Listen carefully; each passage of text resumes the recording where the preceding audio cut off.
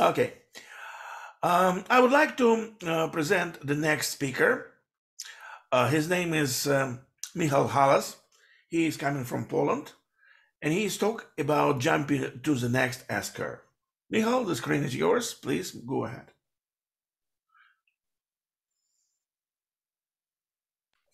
Okay. Uh, yes. Uh, um, I would like to share a story. Uh, I'm not from academia world. Uh, I'm uh, closely connected to business, uh, mostly training people, but also consulting.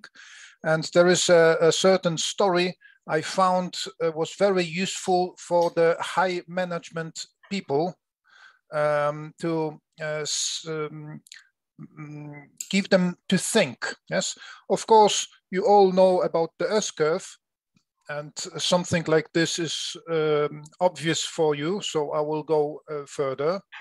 Uh, this is um, the S curves uh, when the business people are not um, interested much in the technological um, wellness of uh, of uh, invention, but uh, market saturation. Yes, how much market penetration has the first landline telephone, for example, in United States? It did not come to 100%, but saturated the market of whoever wanted to have telephone line. Then fast much faster telephone, um, first analog and then digital uh, mobile phone and smartphone is separate, uh, then it is still faster than mobile phone uh, was in the 90s mostly. Uh, so um, this is um, uh, first um, observation. Uh, and this again, what you possibly seen many times already on, on TRIZ things um, this is, is, giving some parameter, yes, um, um, of function. And um, mostly what I found, uh, business people are interested in money. Uh, the, the technical things are not, um, they, they usually are not fond of. So what is this? Guess what is this? You can uh, write to me on chat. What do you guess it is from Slovakia, but it is in many countries. So what uh, do you think it is?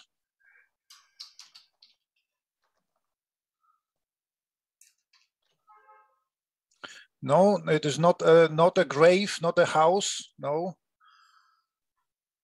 Okay, good guesses. I will help you. This is an ice house. Uh, this is maybe 200 years old. So it was to preserve ice. Yes, people were loading in winter, were loading ice, and it was for very wealthy um, landlords to, to uh, take ice from it in summer or to keep meat or, or fish um, uh, fresh for a long time. And uh, there was no other technology 200 years ago, only uh, to harvest the ice um, uh, in in winter from um, from lakes, and this is the man uh, who. Um, uh, who made really real money on this yes many people knew in europe and in other countries um, uh, that you can uh, have this technology it is very convenient to preserve food but one man um, uh, took his imagination beyond the limits and uh, uh, thought about selling ice to hot countries. Uh, and he was American. He was called the King of Ice from Boston. His history is very, very interesting because he uh, went bankrupt several times. He even went to prison because of that. But finally, he got next to of investors to him and um, made it successful. His invention was not very difficult from our perspective because he was using sawdust, yes, uh, to make isolation, isolation um, on a ship, wooden ship um, uh, at that time, and um, he was um, uh, sending the ship with ice to uh, Cuba, and uh, in Cuba there was next invention of his it was ice house in the port because before he came with a ship and nobody believed there is ice for sale and the, the ice melted. So next time he built, um, invested in ice house in a port in um, Cuban um, capital, uh, what is now, uh, uh, and um, he was selling ice very successfully to 50 countries. I believe India was was the best um, client uh, for Frederick Tudor, and it is one of his many many inventions. This was not his invention; it was invention of uh, one of uh, his um, suppliers. Uh, what you can see is a kind of a saw. Yes, it is steel blade to cut ice, and uh, you cut you measure exactly how much uh, the, the squarish pieces you, you, want and you can very easily cut uh, the ice. So uh, the um, performance uh, went up three times yes so so the the price of of sourcing ice was uh, down. Um, and this is um, a later um, a show for um, tourists in 1974 uh, how it uh, used to be in the old times uh, when um, uh, ice was um, harvested from uh, from the lake. Uh, so the question is about jumping from one technological S-curve to another um, S-curve because the new technology is coming there is always coming. This is the inside of the ice house, how it was uh, distributed and filled up with uh, many tons of, of ice. Uh, it was doable at, at that time. And uh, first we come with uh, alternative technology. Uh, the man on the left is John Gorrie, um, who was a physician, yes, doctor, medical doctor, who was caring for his patients, and he found that yellow fever uh, patients are better uh, well uh, if if uh, they are providing with some cooling. So uh, he um, invented machine, and this is from his patent. Uh, he obtained this patent, but the old technology was fighting. So Frederick Tudor um, paid to the journalists uh, of that time uh, to make articles how risky is uh, to you know eat the ice from the machine. It is um, worse than 5G in some countries. Yes, your cows will be dead and the chicken will die. Your your children may be um, sick if you eat the ice um, from this machine and several other machines because you can see many other names and patents. Very interesting is uh, that uh, no um, um, company who was harvesting um, ice from the lakes did not change into artificial machine to make ice from water. All were newcomers uh, who were making machines uh, from five to 200 tons. They were very large machines, usually uh, filled with, with coal um, and was uh, generating ice, those machines. Uh, so um, maybe the von Linde, you, you know, because Karl von Linde moved into niche and the niche was um, gases, yes, uh, um, industrial gases when you compress them or, or uh, have as a liquid, yes, like oxygen, nitrogen, and some other uh, gases. So this company survived. All the others uh, are not known uh, now. This is the change of the century from 19th to 20th century in United States, which is very specific on, on ice consumption. They, they uh, drink Coca-Cola with ice and, and probably everything they, they like with ice. And the um, refrigerators have, have um, the, the machine distributor of, of ice. So at that time, uh, there was a special um, uh, man who was bringing to the houses um, uh, cubics of ice and apart from the lakes, which were uh, running um, at uh, full speed, there were at that time 766 ice factories around uh, United States.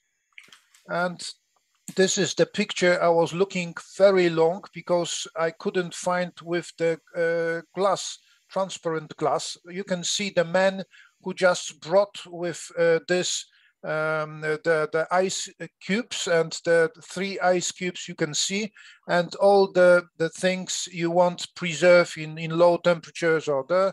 It was only uh, inconvenient that once a day you had to uh, take water from from a special reservoir and take the water out maybe for plants or uh, or for dog to to drink it. Uh, so uh, the chiller, it was not called refrigerator, it was called uh, chiller, uh, was uh, quite popular until the next S-curve of electrical electric um, refrigerator. This is one from 1927, but just before the First World War, they were invented and, and running. They were quite uh, expensive as, as you compare it to Ford Model T at uh, the year 1922. And the main problem was uh, that ammonia or um, oxygen, uh, sulfur oxygen, um, yes, SO2, those gases are toxic. Yes, there were uh, stories of whole families dying because at uh, night they were asleep and the vibrations of, of the machine made the machine uh, the, the leakage of ammonia or SO2 and the whole family uh, died during sleep. Uh, so this was very risky technology. Even the risk, um, uh, there was over 1 million of those um, top fridge uh, by General Electric produced at that time and uh, 1 million of them. And then uh, in 1929 uh, came innovation, uh, which changed everything because a new uh, chemical compound was, was found very useful at that time. Now it is forbidden, uh, freon. Yes, and freon was not toxic um, and um, everybody wanted to buy those uh, even uh, during the, um, period of, of 1929 uh, and early 30s when there was Great Depression, the uh, few uh, products were, were higher in sales and those were the uh, refrigerators. And the newcomers were making business. for example, some Swedish students um, were making um, uh, first refrigerators for day market, uh, and as a startup, yes, from nothing, uh, they they started a well-known company uh, which is making not only refrigerators uh, and not only in Sweden now. So we have uh, several S curves, and um, my personal story to this is that maybe you are very happy with the first curve of this S curve because the market is finally uh, eating your product. Yes, uh, the the uh, there is um, enhancement, there is acceleration of of sales. So business people are very interested in in uh, things like this, but you have to do the work before. Yes, if you don't do the work uh, on the uh, beginning of the S curve, you will not go up um, because there are competition who did the work, um, and then uh, you you have this marvelous uh, part of S curve when when the sales goes up. And I remember um, uh, when I started project management trainings in Poland uh, from scratch, and after maybe two years of the first part of the S curve with uh, quite low sales, there was a very uh, big change in the market. Everybody wanted project management training. Uh, so uh, remembering my past products, uh, because uh, my first company I started 30 years ago, and after maybe a year, there was so much competition, I, I gave up my product and started uh, to look for some other um, mm, technologies and other products. this time, year after year, I was searching what is wrong, why there is no competition. And after maybe five years, I was completely asleep. Yes, I was not expecting any uh, competition to come. Simply, my S curve at that time was longer. Yes, it, it took more years than usually. Uh, and uh, finally uh, came uh, far more competitions. The, the markups were down. Uh, and I started to look for some uh, other technologies. Uh, other, um, I, I, I, like to train people, so I was looking for something to for, that I can train people, and this is how I, I found TRIZ. Uh, and uh, I'm among uh, some people important to in my country to um, to tell people who didn't heard about TRIZ at all to uh, for them to, to know about TRIZ. So no, um, no um, businessmen uh, from uh, like Frederick Tudor and others who were harvesting uh, ice from um, lakes did not jump to the uh, next technology because it is so difficult, so difficult. It is far easier to fight it, as Frederick Tudor was uh, fighting new technologies, uh, than to uh, join those technologies. Uh, also, those who were making uh, big factories of ice did not jump to the new market of uh, home electric refrigerators um, all of the newcomers were completely new in this business. They were startups, really. Uh, so um, my conclusion I usually give to my audience is, where are you on your S curve? Yes, are you on the S curve in the second phase when it is uh, very accelerating? Then beware, there will be some time, there will be the second uh, uh, curve of your S curve, and uh, it will be very difficult uh, for you. So be prepared when it is, uh, um, and business people uh, understand this, and they are happy to for the reflection of this story. Imagine that in 1908, you are making the harness for horses. Yes, if you don't know what harness is, you can see on the picture.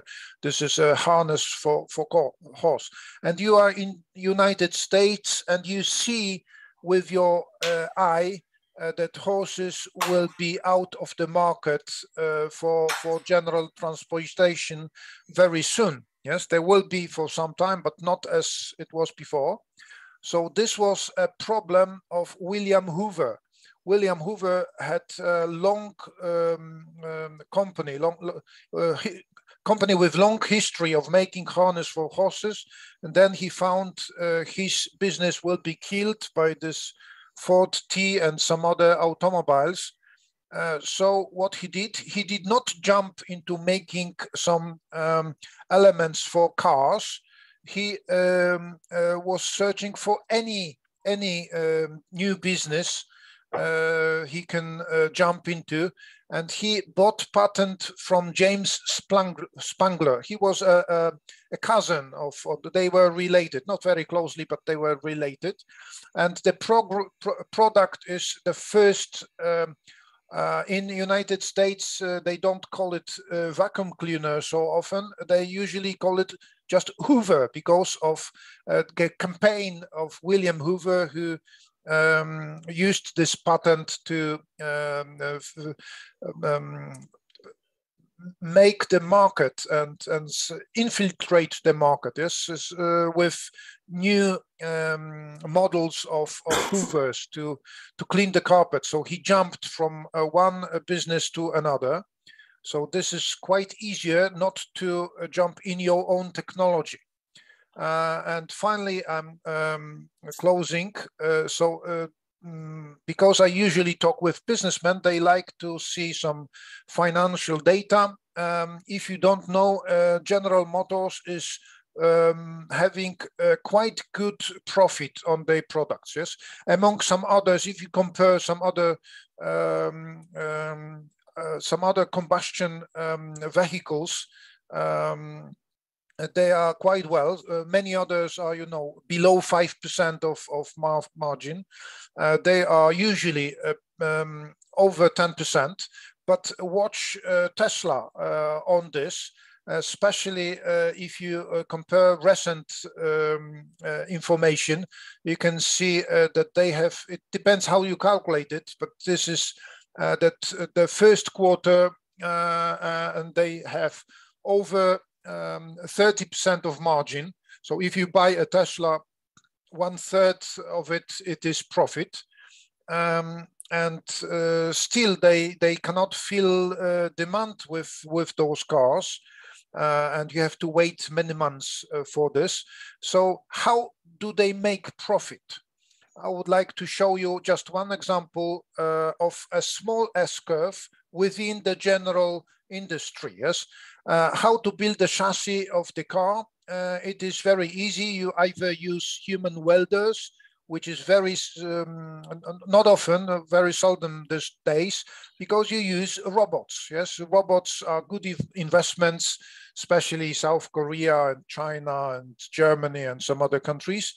So uh, those are uh, robots and um, usually you have around 1000 robots to make the complete um, body in white of, of the car.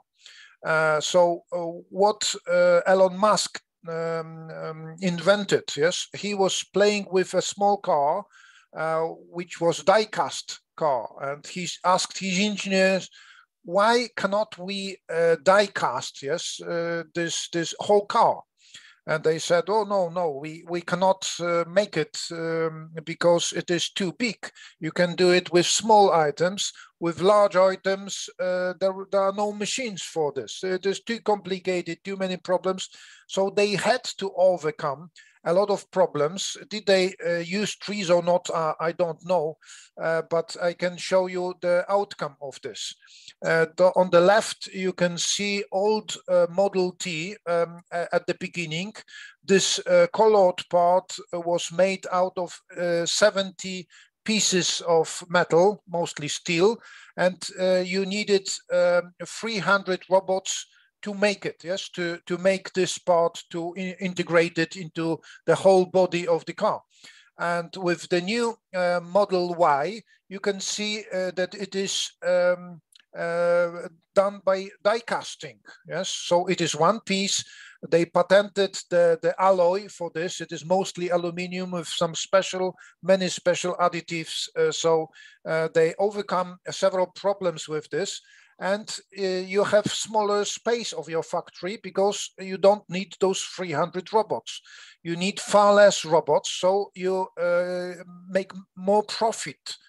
Um, uh, and by uh, producing, yes, by, by production standards, it is a revolution.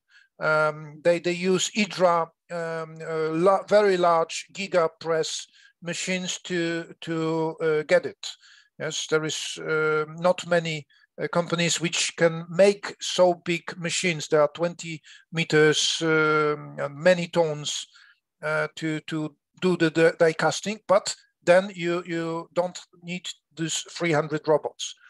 So uh, this was um, yeah, this is the the uh, one giga press, which is for example, uh, in Berlin, uh, next uh, nearest to me, but uh, in Shanghai and in United States, there are several others. Um, so this is the, the exchange, yes, and they uh, th this is the way they are making profit. So I wanted to share this story with you uh, for you to use. I will send you on chat um, a link if you want an editable version, and you can do anything with this uh, version. And finally, who knows what is Godrej and Boyce? Who heard about this? I'm looking at chat. No answer. I expected Indian people from India to, to uh, tell uh, what is Godrej and Boyce because it is known company in India, but nobody from India is responding. So it is a company which was not uh, making um, cheap products for everybody. Ah, Valerie knows. Okay.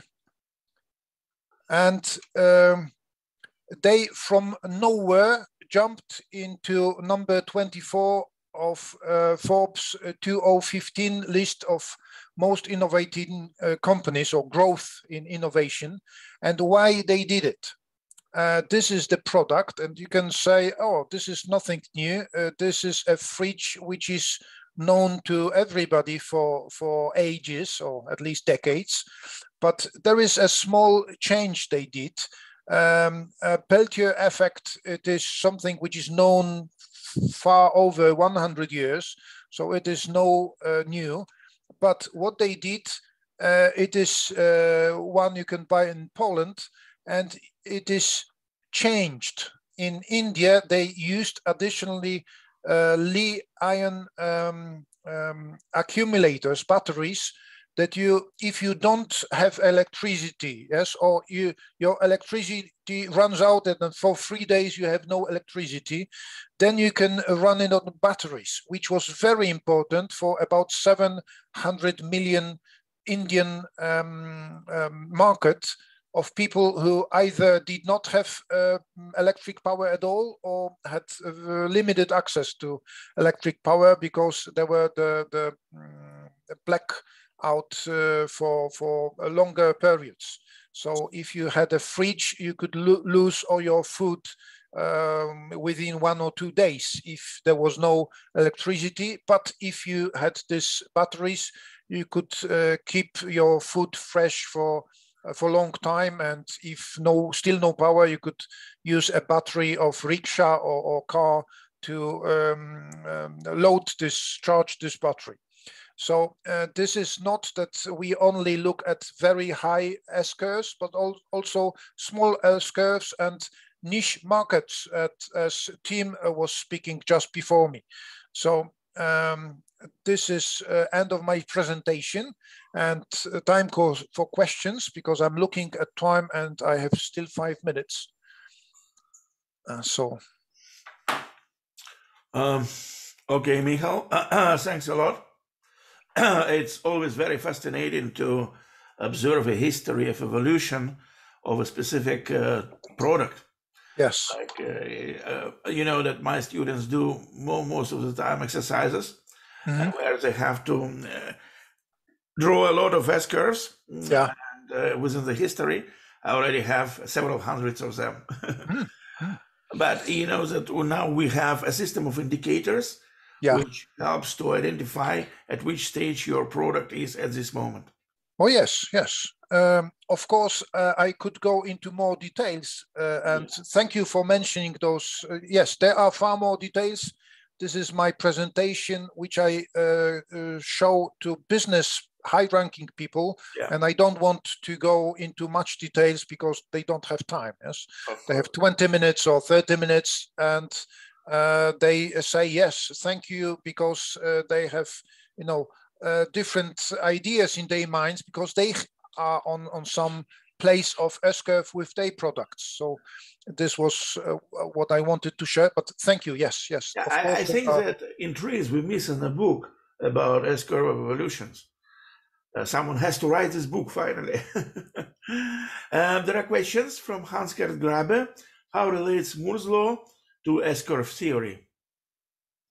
Yes, I'm checking. The um, Maslow, ah, no, Moore's law. Uh, yeah. Uh, uh, you you see, uh, there was uh, in the beginning there was the first um, part of S curve. Then in the 60s, it maybe 1963, it went up, and it is still going up uh, I can show you uh, that it did not go up to some expectations in last three or four years.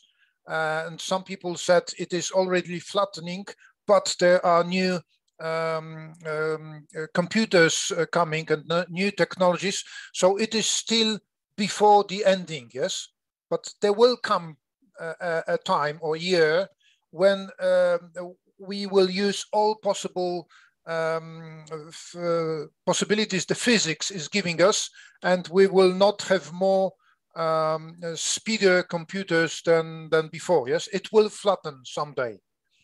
Mm -hmm. Yes, I I know uh, first-hand data from uh, AI market, uh, uh, it was um, um, mostly concentrated on uh, automatic um, driving. Yes, several companies died or went bankrupt because they were expecting new computers with higher, um, uh, bigger speeds and and higher pro productivity, and uh, there was no computers. The hardware was not going up to the expectations of of Moore's law. Can But I generally- add a question to this? Yes, please. Pardon?